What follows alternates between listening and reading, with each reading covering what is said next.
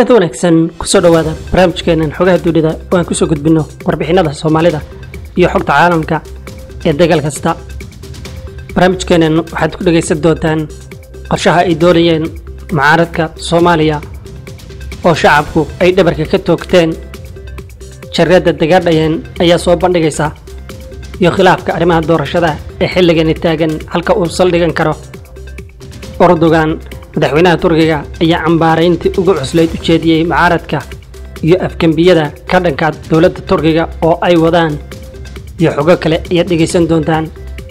Jareedda gaadhayeen ayaa dul martay warbixin ka hadlaysa muranka arrimaha siyaasadda ee soomaaliya.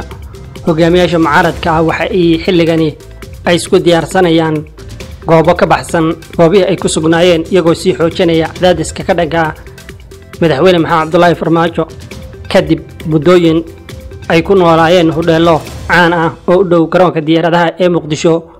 Hogaamiyaasha mucaaradka ah oo ay ku jiraan labadii madaxweynehii hore iyo kooxo hubaysan oo ay wataan ayaa ku faafaya caasimadda taa oo loo arko in ay tahay tallaabo khatar leh. Madaxweynaha dowladda federaalk soomaaliya maxamed cabdulaahi farmaajo ayaa ku laabtay magaalada muqdisho safar uu kaga laabtay dalka kongo halkaas oo ka sheegay inuu rajo weyn uu ka qabo inuu ku guulaysto taageero muddo kordhinta ee midooda afrika iyo wadahadallo mucaaradka ay ku riixaan.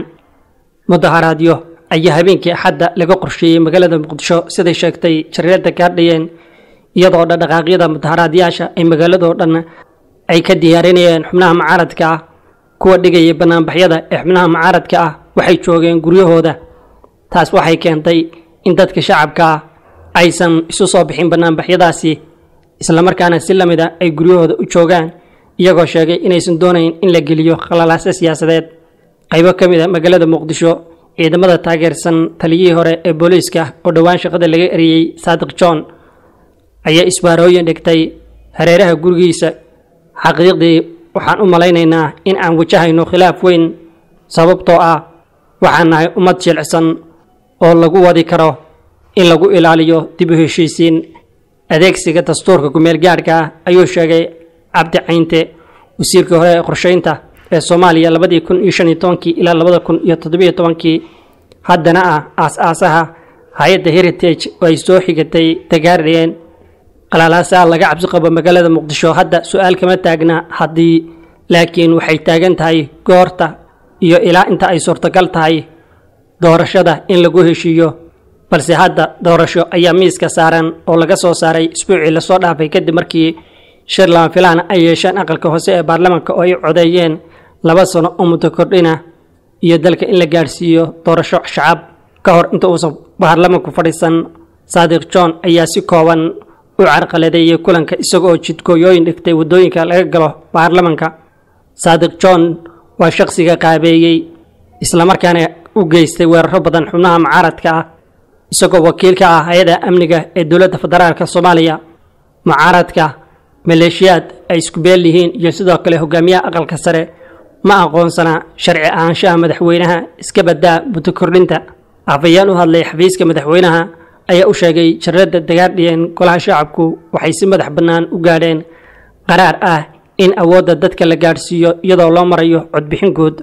Xaaladda hadda jirtaa waa go'aan ay soo saareen sharci dejintu in dalka lagu celiyo geedsi socod doorashooyin oo markii hore laysku raacay oo la ansixiyey hal qof iyo hal cod. Dowladda federaalka waxay ku doodaysaa in sharci la soo saaray labadii kun iyo lix iyo tobankii uu dhigayo in madaxweynaha uu xukunka sii joogi karo ilaa la helo hay'ad dastuuri ah oo matalaya. Dhinaca mucaaradku waxay leeyihiin sharciga ayaa ah mid loo adeegsanayo si loo qariyo awoodda madaxweynaha uu doonayo in xukunka uu ku joogo. Arrinta xasaasiga ah ee hadda taagan waxay tahay in tani tahay muran siyaasadeed oo uusan ahayn muran xagga sharciga ah ayuu yidhi. Agaasimaha mashruuca kooxda dhibaatooyinka caalamiga ah madaxweyne farmaajo wuxuu kursiga ku yimi labadii kun iyo toddobiyo tobankii dabadbaxyo iyo taageero ballaadhan dalka oo dhan iyo meelo ka baxsan welina. Wuxuu isku dayayaa in uu haysto taageerada shacabka. Lama oga haddii mucaaradku ay walwal ka qabaan doorashada qof iyo cod iyo in uu kaga saameyn badan yahay madaxweyne farmaajo. Soomaaliya waxaa lagu qaabeeyey sharci nidaam federaal ah oo la rumaysan yahay inuu ahaa midka ugu wanaagsan bulshada reer guuraaga ah oo leh xiriirka qotada dheer ee qabiilka balse nidaamka federaalka ah lafadgiisa ayaa loo arkaa inay tahay mid hadda isu bedelaya qaab qabiil. Inta uu xilka hayay madaxweyne farmaajo caqabadda ugu weyn ee hortaagan siyaasaddiisa waxay noqotay iskhilaafka ka dhexeeya dowladda federaalka iyo dowlad goboleedyada warbixinada kalena madaxweynaha turkiga rajab tayyib erdogan ayaa arbacadii wuxuu dhaleecayn xoog leh u jeediyey gudoomiye ku-xigeenka kooxda xisbiga c h p. Engin alti oo sheegay in madaxweynaha uu wajihi doono nasiib u dhigan sida ra'iisul wasaarihii hore ee turkiga cadnaan mander oo la toogtay kadib afkabi ka dhacay turkiga kun iyo sagaal boqol iyo lixdankii. Erdogan ayaa yidhi hadallada noocan oo kale ah waxay ahaayeen kuwo aan macno lahayn maadaama uu diyaar u yahay in naftiisa uu khatar geliyo.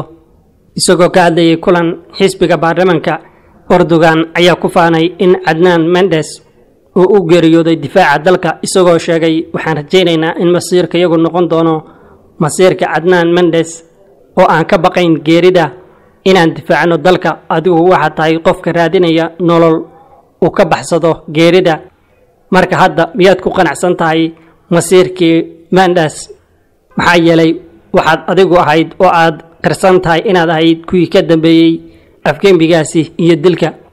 Waxaan rajaynaynaa in erdogan uusan ku dhammaan sidii mendes alti guddoomiyaha xisbiga c h p ayaa sheegay talaadadii iyaga oo adeegsanaya door ka soo horjeeda in ka badan labaatan sano gaar ahaan xisbiga c h p.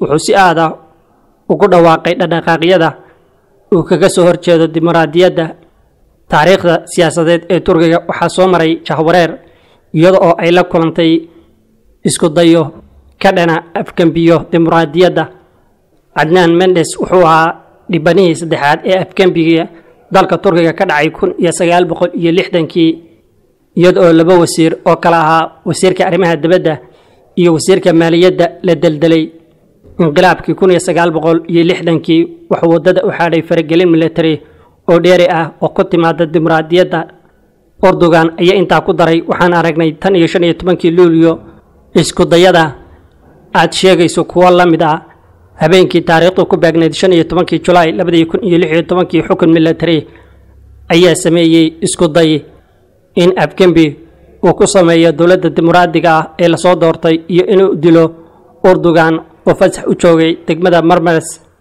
afgembiga oo loo adeegsaday hub culus oo ay ku jiraan diyaaradaha dagaalka helikobtarada taangiyada muwaadiniinta dimuqraadiyadoonka ah ayaa seexday waddooyinka oo ka hortegay taangiyada waxaana lagu dilay laba boqol iyo konton iyo kow qof iyo dhaawaca laba kun iyo laba boqol oo qof kuwaas oo difaacay dimuqraadiyadda turkiga erdogan ayaa jawaabtiisa mucaaradka intaa ku daray waxaan aaminsanahay diinta islaamka in naf walbaba ay dhiman doonto. Geerideedana ay tahay lama huraan. Taas waa intaa adiguba waad dhadhamin doontaa isla geerida ee la soco sidan aynu ku sii wadno safarkan waa safar lagu noolaanayo waddanka hooyo. Waxaana aaminsanahay in nafta loo huro dalka hooyo. Inta naftu nagu jirto ayuu sheegay erdogan shakhsiyaad kale oo ka tirsan siyaasadda turkiga ayaa dhaleeceeyey hadalka alti madaxa isgaadhsiinta ee turkiga. Ayaa yidhi waxaan mar walba garab taaganahay rabitaanka qaranka kuwaas oo si cad oo ba'an ugu hanjabaya erdogan.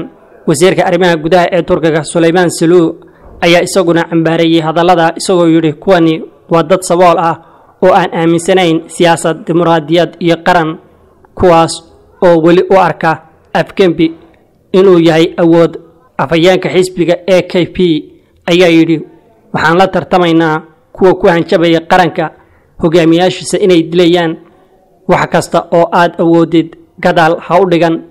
Hadalka guddoomiyaha xisbiga turkiga alti wuxuu ku yimid hal isbuuc kadib markii boqol iyo afar admiraal oo howlgaba ah ay daabaceen bayaan muran dheliyey oo ka dhana dowladda turkiga taas oo turkiga ugu yeedhay inay ahayd iskuday afgembi ah inqilaabku waa mowduuc xasaasi ah dalka turkiga sababtoo ah militariga ayaa muddo dheer isku arkiyey inay yihiin damaanad qaadka dastuuriga ah ee cilmaaniyadda dalka.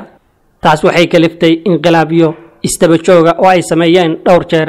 Taariikhda turkiga inqilaabkii kun iyo sagaal boqol iyo lixdankii kadib dabayaqadii lixdameedyadii turkigu wuxuu soo maray marxalad adag oo dhaqaale ah taa oo turkiga dhalisay qalalaase bishii maarso labiyo tobankeedii kun iyo sagaal boqol toddobaatan iyo kowdii waxaa loo soo saaray qoraal military oo lagu soo celinayo kala dambeynta laakiin waxaa sii ballaadhan loogu tilmaamaa faragelintii labaad ee militariga xilligii jamhuuriyadda koob iyo toban sano kadib afgambigii kun iyo sagaal boqol iyo lixdankii. Sebtembar labiyo tobankeedii kun iyo sagaal boqol iyo siddeetankii waxay ahayd taariikh kale oo ku saabsan taariikhda afgembiyada dhicisoobay ee turkiga. Februari sagaal iyo labaatankeedii kun iyo sagaal boqol sagaashan iyo toddobadii ayuu dhacay iskuday afgembi ah oo kale oo turkiga ah. Labada kun iyo lix iyo tobankii ayuu ahaa iskudaygii ugu dambeeyey ee afgembiga dalka turkiga iyada oo ilaa maanta dalka turkigu dagaal kula jirta iskudayada afgembiyada ee dalka turkiga